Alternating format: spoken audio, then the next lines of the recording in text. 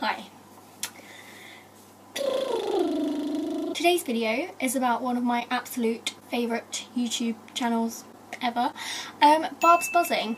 Um, hopefully you could sense the sarcasm there. Um, I hate this channel. I, I, I, I hate them. Harsh, but true. Um, if you don't know who these guys are, then let me give you a little rundown of what their channel is about and who they are. The channel is run by two guys, Jack and Chris. They've basically tried to combine like the vlogger style video with like fish tube videos.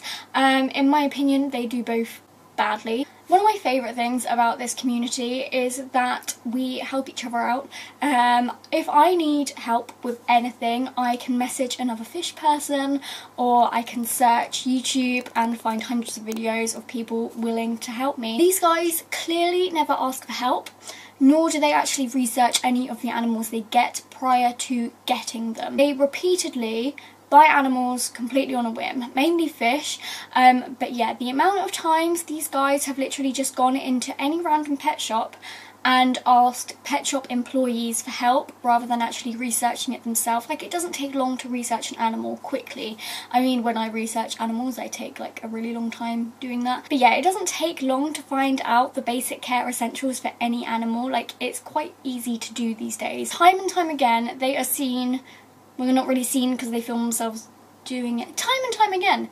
They are seen um, buying fish that they know absolutely nothing about and coming home and putting them in less than ideal setups. And it just really, really frustrates me when there is so much information out there for them to have that they choose not to research any of the animals that they get prior to getting them. They film this whole process and then literally ignore every single comment from people that are trying to help them.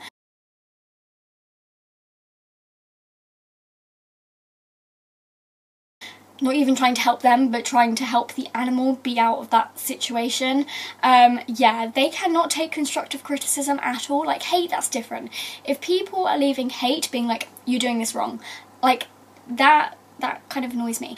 Um, but when people are giving constructive criticism, like, hey, you might want to do it this way instead of that way, or you know, you need to take that on board. Everyone messes up, everyone fails, everyone does things wrong, especially when it comes to animal care, but not accepting that some people might know how to do things better than you and are actually just trying to help you, that really annoys me because you don't know everything and no one knows everything. I feel like to do anything like animal related on YouTube, you need to be okay with taking constructive criticism um, because you are going to do things wrong and you can research something like as much as you possibly can but you're still going to do some things wrong like no one is perfect but you've got to be able to realize when people are just trying to help you compared to when people are just hating on you and most of their comments are from people trying to help them and they perceive them to be hate and they don't reply and they only reply to like positive ones and it's just it's just it annoys me a lot.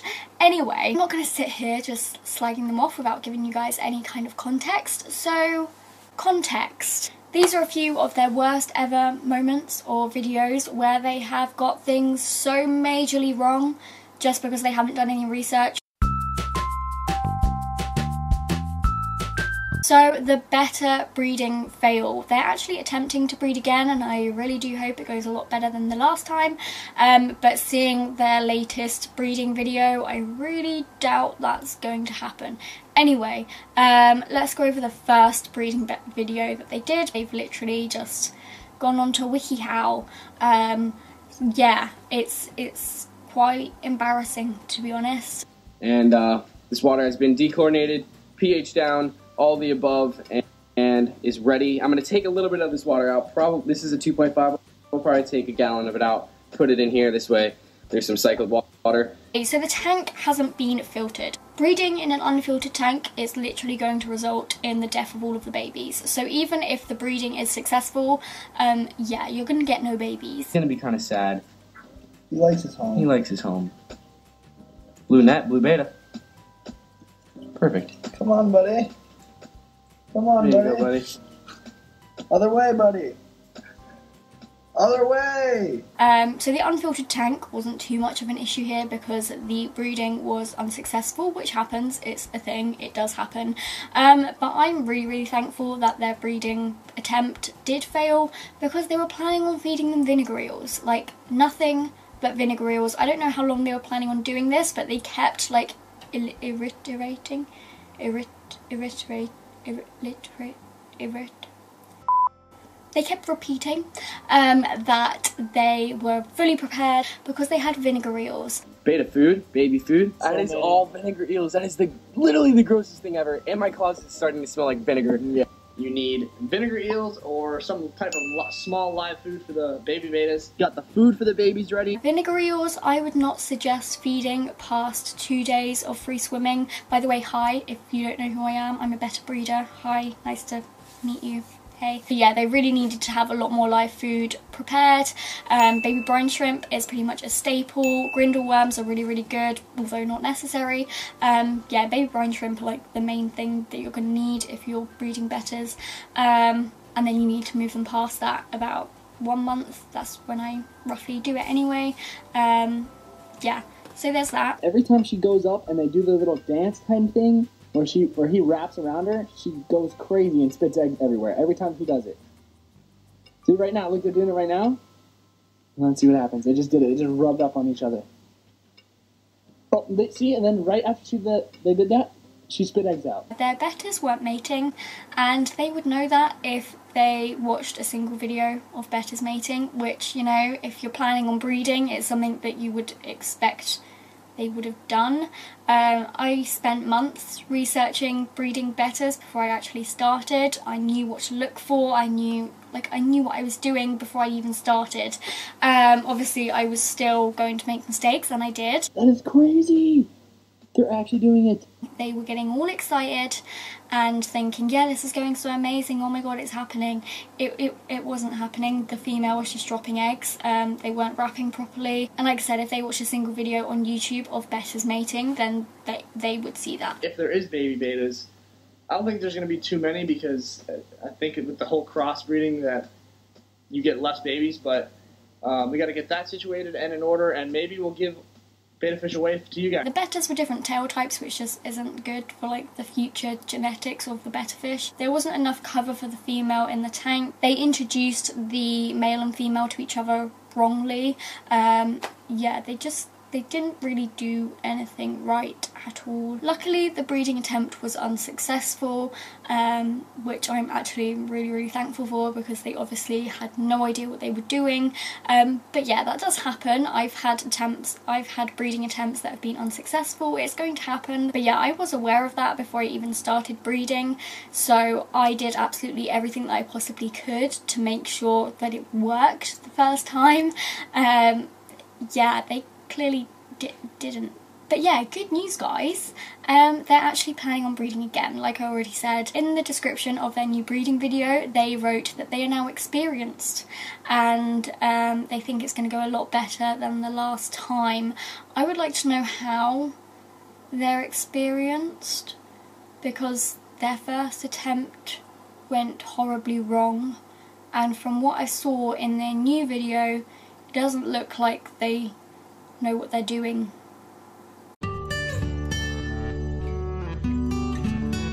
They have caught and fed wild fish to their pets on many occasions, um, which is just so wrong on so many levels. They need to go into our other fish's belly. That is the first fish that we got. This is the cichlid. They're actually invasive here. He's wild caught, and the other ones are probably farm. So, yeah, here's the big boy, guys. Here's the absolute giant tilapia that we caught. So, this is the one that our fish love. Our fish know and love the tilapia. Come here, buddy.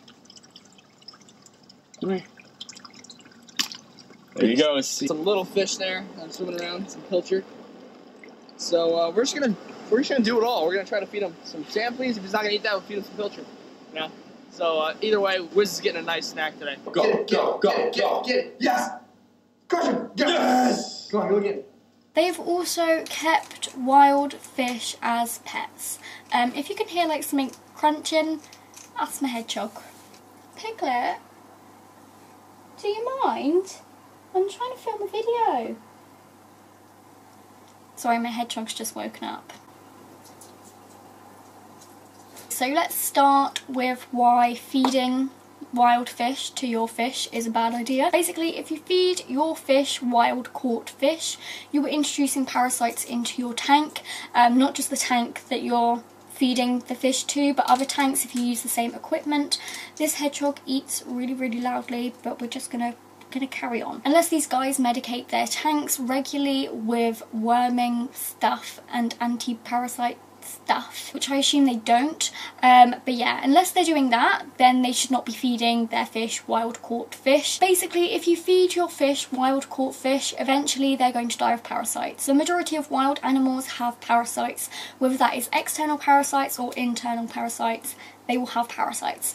Um, yeah, so if you feed your fish wild fish, um, they're, they're going to get parasites. They may not be affected with the parasite straight away. It may be months, maybe even years before symptoms start arising. Um, but yeah, their tanks have got parasites, I'm just saying. Stealing, um, which is what catching wild fish is, in my opinion. Um, stealing wild fish is actually illegal in most parts of the world. Um, there's a few exceptions to this. Um, if there is a specific invasive species, um, they're okay to be taken out. But yeah, I haven't looked into the specific laws in Florida, which I think is where they're from, um, as to what they can actually fish and what they can't. Um, but yeah, in a lot of places it's illegal he's gonna be a absolute beast in there, guys. Look at that thing. That thing is sick. So yeah, our tank is coming together, guys. Our tank is we're getting fish for it now, and all of our albino fish are in there right now. We Bass. Right now. beautiful fish. Enjoy, buddy. Sweet, let's go. See, you, you know he's gonna swim in the back because he's gonna be a little confused for, uh, in the beginning. A little scared. He's got a little spot on his head, a little white spot. I don't know where that's from, but look how good he looks. He's already super comfortable in here. He's been swimming around. It's just completely morally wrong to me to take an animal that lives its life in the wild, in the sea, the lake, a river, a pond, wherever you're taking it from, to take it and put it in a tank to keep as a pet. That's disgusting because like you're taking away its whole freedom. Like it's just that's horrible. And using that fish as a feeder fish that you've stolen from the wild is killing it. Like you're killing the fish just so your fish can have something to eat. Like it's just I don't like it. I don't like it at all. But like your fish that's been in captivity its whole life is not going to be that bothered if it doesn't get to hunt a live animal. I hate the thought of taking any animal out of the wild. They have got their whole freedom in the wild to do whatever they want. And yeah, there's more predators in the wild um, than there would be in a tank, but it's just just don't take animals from the wild. There's no need to do it anymore. To kind of keep with the wild caught theme, the boys are majorly into turtles, which I get. I like turtles, I think they're cute, I really really like them. My boyfriend actually has turtles, I love them. But the species of turtles that Barb buzzing. Is it barbs buzzing? The species of turtles that barb, barb, barb, it's barb buzzing, buzzing, isn't it? There's no G. Barb buzzing, barb buzzing. Yeah. The species of turtle that they have is actually wild caught. Um, they didn't catch them themselves, they actually got them from a pet store. And it is a teeny bit possible that these turtles were bred in captivity, but it's extremely rare to find them bred in captivity. Um, most of them are wild caught, and the store that they got these turtles from was just so dodgy. Like, so dodgy. Like, let me show you. Cool little things in a while, so uh, let's see if they got something dope that we can buy. We'll check it out. There's a bunch of snapping turtles right here. We want to get one of those. And there's one other one that we've had before, but we had to give away back to our buddy, but um, we're going to get one of those as well. But I love the snapping turtles. They're, they're sick. I have a monkey here. Hi, hello. Hi. Likes the camera. He's looking at himself. It literally had a primate, like a monkey, in a cage for sale. A monkey. You can just buy a monkey in a cage in, in a shop if you feel comfortable about buying from a store that literally has a caged monkey in it, I genuinely don't know what to tell you. I feel like I'm sounding like some really hyper oversensitive like animal activist right now, but like really a monkey. A monkey it's just not normal. Anyway, I got two turtles, I think, from this store um, that aren't compatible with each other. They've now like changed that and they've got them in two different setups. Um, but the store gave them the wrong advice. One of the turtles they got was a snapping turtle. If you guys know anything at all about snapping turtles, you'll know they get extremely big. Um, they kind of look like Bulbasaur, you know, Pokemon, Bulbasaur. Yeah, they kind of look like him. Um, but yeah, but I was going to say Bulbasaur's a wild caught. Um, Bulbasaur's are wild caught. Um, but what am I talking about? Snapping turtles are mostly wild caught. They're actually endangered species, um, which they probably would have known if they did any research into buying a snapping turtle before they actually bought a snapping turtle. Um, yeah, they are endangered and they're not really recommended to have as pets unless you're doing it for conservation reasons. Otherwise, you're just taking more snapping turtles out of the wild. Um, yeah, I just, I don't like it. I don't understand how anyone could walk into this pet shop and be like, yeah, this is a nice place to buy my animals from. It's just like, I don't like it at all. I could honestly write a long, long list about everything this pet shop has done wrong, purely based off of Barb Buzzing's um, video, um, but that's not what this video is about. Oh my god, I just saw this video. They bought a chicken and a rabbit and are wanting to keep it in a hutch together. I honestly don't even know where to start with this one. Okay something caught our eye. We did get a little baby chick, which is in this box right here. I'm not going to show you guys yet until we get to the house. So I can show you guys and like let her run around and stuff. It's a little baby female, and oh, Jack oh, yeah. has no idea we got either one of these things. So Jack has no idea, and we also got a little baby bunny. Look how cute. Look how cute! This is all mine. She was in a big crammed, like, thing with a hundred chickens, and now she's like, I got a mansion. Okay, so rabbits are social animals. Um, they need friends, um, and by friends I mean bunny friends, not not a chicken. Chickens are also social animals and they like to be in a group. And they're not like as social as rabbits, but they're still like they're still pretty social. Um, they like to like huddle up together at night. They're really cute. I used to have chickens when I was younger, and we had them in like this really really cute hutch. And oh my god, they were so cute. They all used to huddle up together at night, like all squished up together. They were really really cute. Anyway, the store told them that keeping a rabbit and a chicken together is completely fine. Again, the boys didn't do any research prior to buying a chicken and a rabbit. Why would they even decide to do that? Like let's go and buy a chicken and a rabbit and keep it in the same hutch. Like, um, the hutch is also really, really small. Although they did say it wasn't going to be like a permanent setup, why not just save money and buy a hutch that's going to be its permanent setup? Because otherwise you're just going to have to be buying bigger hutches. Like, I, why? Why not just buy a bigger hutch? They're going to need to buy two. One for the chicken, a chicken coop, and one for the rabbit, a hutch. Actually, they need to buy more rabbits. Um, chickens need a roosting... What are those things called? Like a roosting pole. A roosting... Basically, chickens, when they sleep, they hold on to a roosting pole. We're going to call it a roosting pole because I can't remember what it's called. Um, but yeah, they literally sleep holding onto this thing. They don't like sit and get cozy. I mean, they might when they're younger, um, but they sleep holding on to like this roosting pole. Heat lamp to keep them nice and warm. Both of them nice and warm at night. If it gets cold or because winter is coming, so got the heat lamp for them. This will be perfect. You don't want anything to happen to these guys. They don't need a heat lamp, nor do rabbits. I don't know where they got that information from. Yeah, you can get rabbits in the UK where it's cold, like the majority of the time. Rabbits don't need heat lamps, like they don't. It's completely predator proof. We're putting it flat on the ground so nothing can get under there. We're going to take double cautions, everything to make sure that these guys are totally safe.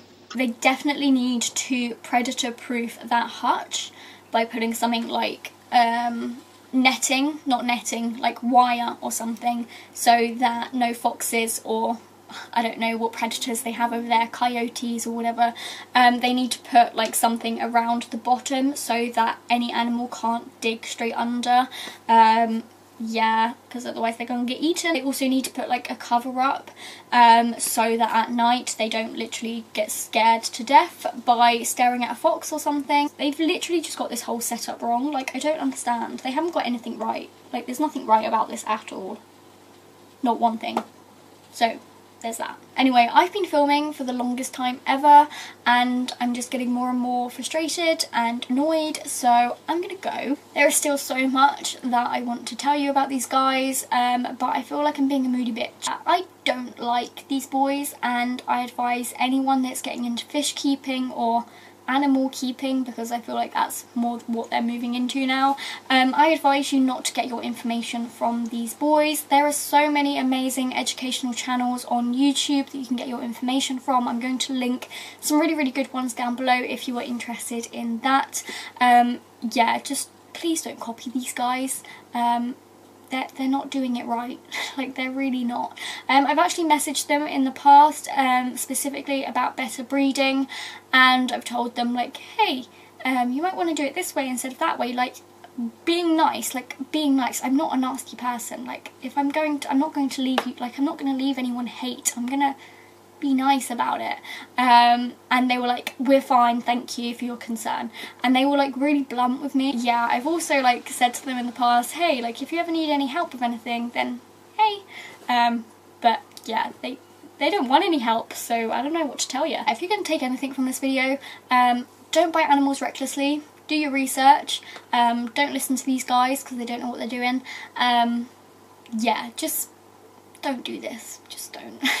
Anyway, I really do hope that you enjoyed this video or learned something. Um, if you are new around here, make sure that you subscribe so you don't miss any of my other videos. Also, leave me a comment down below um, letting me know what you think about this style of video, if you like it, if you don't like it, if you want to see more videos, if you've if you've seen videos from Barb Buzzing and what you think about them, just let me know. Let's have a chat down below yeah.